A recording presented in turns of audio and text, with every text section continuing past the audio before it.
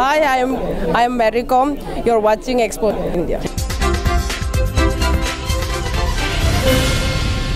मशहूर बॉलीवुड अभिनेत्री दीपिका पादुकोण ने इंटरनेशनल इवेंट्स में अपने ग्लैमरस अंदाज से सबको अपना दीवाना बना दिया। कांस फ़िल्म फेस्टिवल में रेड कारपेट पर कदमते ही दीपिका ने सबका मन मोह लिया। और सत्तरवे कांस फ़िल्म फेस्टिवल के पहले दिन ये अभिनेत्री रेड कारपेट पर शिरकत करती नज़र आई। दीपिका ने यहाँ लॉरियल पेरिस को रिप्रेजेंट किया। रेड कारपेट पर उनके इस लुक की चर्चा हर तरफ़ हो रही है।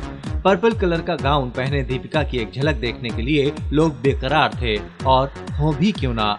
दीपिका इस गाउन में बहुत ही ग्लैमरस जो लग रही थी।